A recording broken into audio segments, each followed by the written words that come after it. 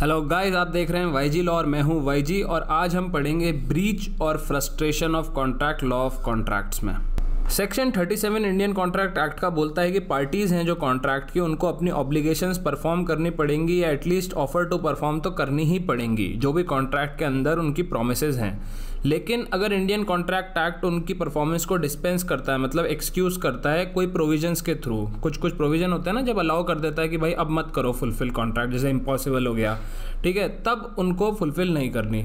लेकिन अगर कोई प्रोविजंस के अंडर में उनके पास कोई एक्सेप्शन नहीं है और उन्होंने अपनी प्रोमिस फुलफिल नहीं करी, एक पार्टी ने अपनी प्रोमिस फुलफिल नहीं करी तो वो पार्टी को बोलेंगे कि उसने कर दिया है ब्रीच ऑफ़ कॉन्ट्रैक्ट ये जो ब्रीच है, ये दो तरह की होती है। एक तो होती है एक्चुअल ब्रीच और एक होती है एंटिसिपेटरी ब्रीच एक्चुअल ब्रीच का ये सीन है कि बस सामने के सामने ब्रीच हो गई। मेरे को कुछ चीज़ थी जो करनी थी कॉन्ट्रैक्ट के अंडर में, मैंने उस दिन, जिस दिन वो चीज़ करनी थी, मैंने नहीं करी तो वो ब्रीच कर दी, मैंने एक्चुअल ब्रीच एंटिसिपेटरी ब्रीच होती है जब आप कॉन्ट्रैक्ट की जो प्रॉमिस का टाइम है ना, जब आपको फुलफिल करनी थी, उससे पहले ही आपने मना कर दिया कि भैया हमसे ना हो पाएगा, क्योंकि आपको पहले ही दिख गया कि भैया नहीं हो पाएगा, उस दिन तारीख को मना करूँगा, इससे बढ़िया पहले ही मना कर दूँ, सामने वाली पार्टी सतर्क तो हो जाए।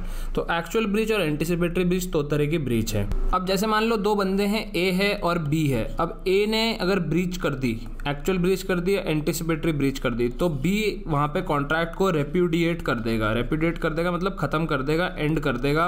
वहीं के वहीं, क्योंकि सामने वाले ने ब्रीच कर दी ना अब वो अपनी फुलफिल क्यों करे प्रॉमिस जब ये ब्रीच ऑफ़ कॉन्ट्रैक्ट होता है तो तीन रेमेडीज होती हैं सामने वाली पार्टी के पास जो अफेक्टेड होती है, जिसको एक्चुअली लॉस हुआ था इस ब्रीच से। पहला डैमेजेस डैमेजेस मतलब कंपनसेशन इंडियन कॉन्ट्रैक्ट एक्ट में मिलता है ये। सेकंड है स्पेसिफिक परफॉर्मेंस जो कि स्पेसिफिक रिलीफ एक्ट में मिलती है। इसमें बेसिकली बंदा बोलता है कि, देखो, मेरे को डैमेजेस नहीं चाहिए, मुझे पैसा वैसा नहीं चाहिए, मैंने जो कॉन्ट्रैक्ट में बोला, वो मुझे करके दो, मुझे स्पेसिफिक परफॉर्मेंस चाहिए अपने कॉन्ट्रैक्ट की। और तीसरा होता है इंजंक्शन वो भी स्पेसिफिक रिलीफ एक्ट में मिलता है। इंजंक्शन का मतलब बेसिकली एकदम सिंपल वर्ड्स में होता है कि सामने वाला कोई चीज़ कर रहा है, कोई एक्ट कर रहा है, कुछ भी कर रहा है, ठीक है, जो आपका लीगल राइट वायलेट कर रही है। तो आप कोर्ट के पास जाके बोलोगे कि देखो, वो ये एक्ट कर रहा है, उससे मेरा लीगल राइट वायलेट हो रहा है तो आप वो एक्ट बंद करवाओ। तो वो एक्ट रोकने का जो ऑर्डर होगा, उस ऑर्डर को इंजंक्शन बोला जाता है। इंडियन कॉन्ट्रैक्ट एक्ट का चैप्टर सिक्स डील करता है consequences of the breach of contract section 73 से 75 मतलब ब्रीच ऑफ़ कॉन्ट्रैक्ट कर दोगे तो होगा क्या? सेक्शन 73 बोलता है कि भाई कंपनसेशन देना पड़ेगा फॉर लॉस और damage caused by the breach of contract इसमें बहुत इंपॉर्टेंट बात है कि जो कंपनसेशन या डैमेजेस मिलेंगे, वो एकदम रीजनेबली होने चाहिए और उतने ही होने चाहिए जितने रीजनेबली फोर्सिएबल हैं। मतलब आउट ऑफ़ द वे जाके रिमोट डैमेजेस कुछ हो गए तो उसका कंपनसेशन नहीं देगा सामने वाली पार्टी रीजनेबली फोर्सिएबल डैमेजेस ही देने हैं, इसका सबसे लैंडमार्क केस है हेडली वर्सेस बैक्सनडेल इसमें एक बंदा था और उसकी एक मिल थी। अब इस मिल में जो इक्विपमेंट वगैरह लगे थे, उसमें एक क्रैंकशाफ्ट था जो खराब हो गया था।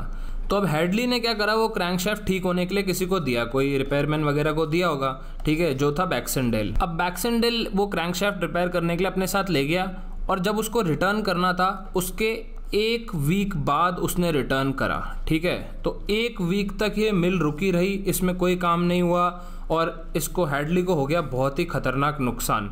और इसको अगर दिमाग ख़राब की, ये क्या बात हुई, एक हफ़्ता लेट आया मेरा, लाखों का नुकसान हो गया इसकी वजह से, ये वो तो वो गया कोर्ट। और उसने बैक्सनडेल के अगेंस्ट केस करा, उसने बोला कि देखो, इसने ये एक वीक लेटर दिया, अपना प्रॉमिस फुलफिल करा तो ये मेरे को डैमेजेस देगा, जो भी यहाँ पे मेरे लॉस हुआ है मिल के अंडर उसका। तो सवाल ये उठा कि जो भाई, इसको जो कॉन्ट्रैक्ट करने को दिया था, और वो फुलफ़िल ना करने का जो कॉन्सिक्वेंस है, मिल ना, चलना एक हफ़्ते तक वो बहुत रिमोट है क्या? तो कोर्ट ने बोला हाँ बहुत रिमोट है। क्योंकि सबसे पहली बात तो हैडली ने बैक्सनडेल को नहीं बोला था कि, भाई, अगर तू लेट हुआ तो मेरी मिल चलना बंद हो जाएगी। और बैक्सनडेल रीजनेबली सोच नहीं सकता कि, भाई, वो मेरे ऊपर पूरा का पूरा डिपेंडेंट है एक मिल के पार्ट को लेके। तो इधर बैक्सनडेल को मिल से जो डैमेजेस हुए हैं, जो मिल नहीं चलने की वजह से हुए हैं, वो देने के लिए लाइबल नहीं करा कोर्ट ने। कोर्ट ने बोला कि, भाई, ये बहुत ही रिमोट डैमेजेस हैं और ये बैक्सनडेल नहीं देगा। अगर पहले ही हेडली इसको बता देता वैक्सन डेल को कि भाई मिल नहीं चलेगी, पहले ही तेरे को बता दूँ तो तू एकदम टाइम पे कर देना।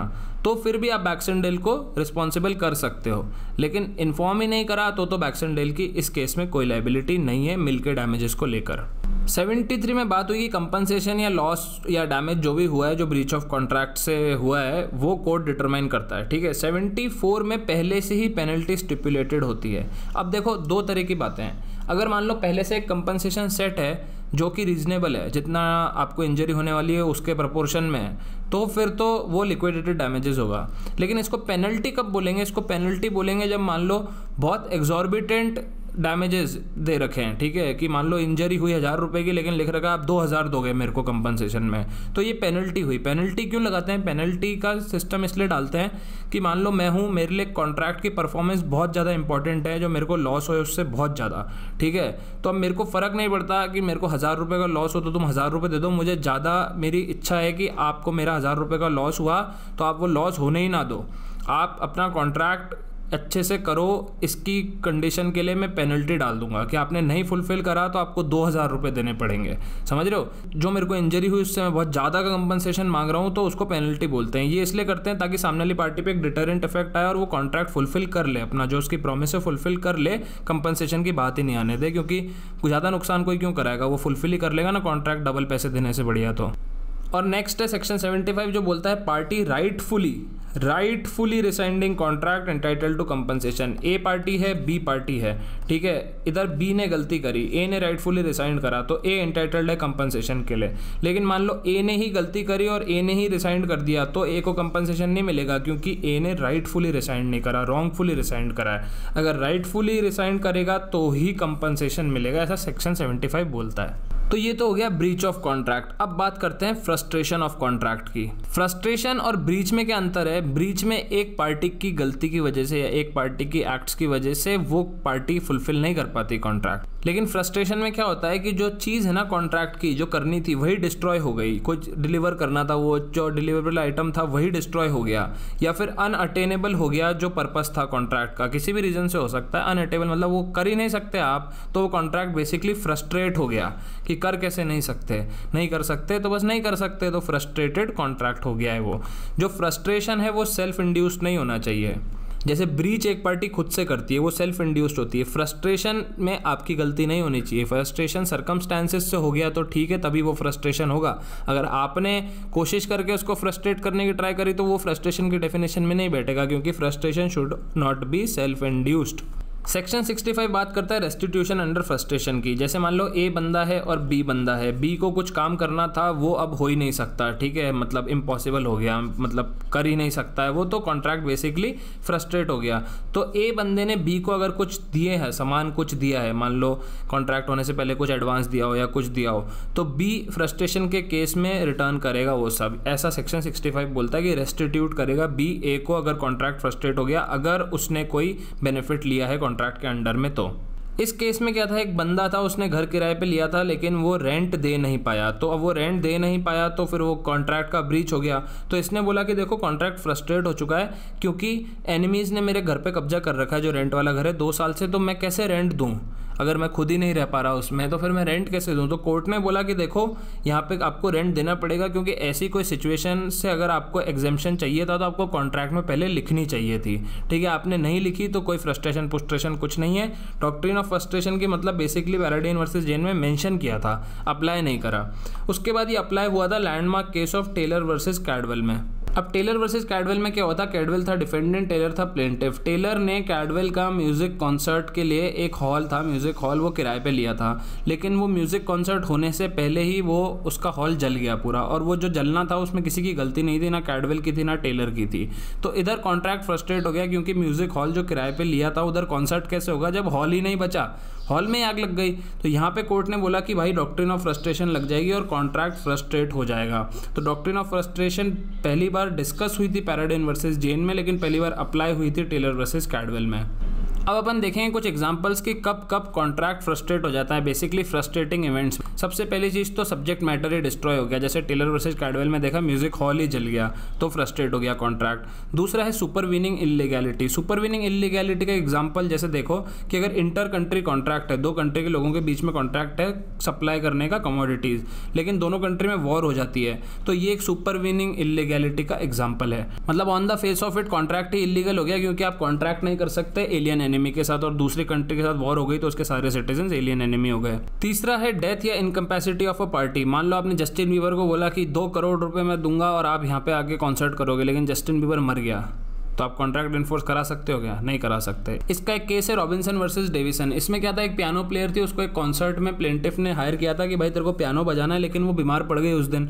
तो कॉन्ट्रैक्ट इस केस में कोर्ट ने फ्रस्ट्रेट कर दिया। उसने बोला कि उसको नहीं पता था कि बीमार पड़ने वाली है, ना उसकी गलती से बीमार हुई है। तो ये एक फ्रस्ट्रेटिंग इवेंट है तो इसलिए कॉन्ट्रैक्ट फ्रस्ट्रेट हो गया है। नेक्स्ट है non occurrence of contemplated event मतलब कोई इवेंट होने वाला था, उसके बेसिस पे पूरा कॉन्ट्रैक्ट हुआ था, वो इवेंट ही कैंसिल हो गया तो कॉन्ट्रैक्ट भी फ्रस्ट्रेट हो जाएगा। इसका एग्ज़ाम्पल है क्रेल वर्सेज हेनरी का केस इसमें क्या हुआ था मान लो ये रोड जा रही है और इस रोड पे क्या किंग का कोरोनेशन प्रोसेस जाने वाला था। कोरोनेशन मतलब जब नया किंग बनाते हैं तो कोरोनेट करते हैं ना, उसको तो वो पूरा एक तरह से परेड वरेड होने वाली थी। तो रोड के दोनों साइड घर वगैरह बिल्डिंग्स वगैरह होती हैं तो यहाँ पे भी बिल्डिंग्स वगैरह, घर वगैरह थी। तो इनमें से एक बिल्डिंग में प्लेंटिफ ने बात की थी कि भाई हमें चाहिए एरिया फ्लैट पूरा हम ले रहे हैं ताकि हम जून 26 से जून 27 तक ये कोरोनेशन प्रोसेस देख सकें। लेकिन वो कोरोनेशन प्रोसेस हो गया कैंसिल क्योंकि किंग हो गया बीमार। ठीक है? तो अब वो उस फ्लैट का क्या करें? तो कोर्ट ने बोला कि इधर भाई फ्रस्ट्रेटिंग इवेंट ये इसलिए है क्योंकि जो object of the whole contract था ना, वो था कोरोनेशन देखना। अब वही नहीं हुआ। जो कंटेम्पलेटेड इवेंट था, वही नहीं हो रहा है। तो ये फ्रस्ट्रेटेड कॉन्ट्रैक्ट ही होगा। प्लेंटिफ की लाइबिलिटी नहीं होगी कि वो आपसे फ्लैट तब भी लें, क्योंकि वो क्या करेगा अपने फ्लैट में? उसका पूरा कॉन्ट्रैक्ट का ऑब्जेक्ट ही कोरोनेशन प्रोसेस देखना था ना। तो ये था क्रेल वर्सेज हेनरी का केस उसके बाद नेक्स्ट है चेंज ऑफ़ सर्कमस्टांसेज ये बहुत वाइड है, कुछ भी हो सकता है, लेकिन भाई कोर्ट रीजनेबल वे में देखेगा कि कितने चेंज हुए हैं। मतलब फ्रस्ट्रेटिंग लेवल पर चेंज हुए हैं कि ऐसे ही बहाना मार रहा है। और आखिरी ये डीले ये भी सर्कमस्टांसेस से डिसाइड होएगा केस टू केस डिसाइड होएगा कि डीले फ्रस्ट्रेटिंग है कि नहीं है या सामने वाले की गलती है डीले में कि नहीं है, वो केस टू केस डिपेंड करता है। लेकिन एक बात ध्यान रखना डीले के कॉन्टेक्स्ट में चेंज ऑफ़ सर्कमस्टांस के कॉन्टेक्स्ट में कमर्शियल हार्डशिप नहीं आती इस डॉक्ट्रिन के अंदर। ऐसा नहीं हो सकता कि डीले आप कर रहे हो क्योंकि आपसे काम टाइम पे हो नहीं पाया। हो सकता था, लेकिन आपसे नहीं हो पाया, क्योंकि बहुत महँगा पड़ रहा था। और इसलिए आप बोल रहे हो फ्रस्ट्रेट हो गया। नहीं, आपकी गलती नहीं होनी चाहिए। आप अपनी जगह पूरे सही होने चाहिए। तो कमर्शियल हार्डशिप मतलब ऐसा नहीं कि सर बहुत महँगा चल रहा है मार्केट में, मैं कैसे खरीदता रॉ मटेरियल मेरे को नहीं पता कैसे खरीदता। खरीद के ला।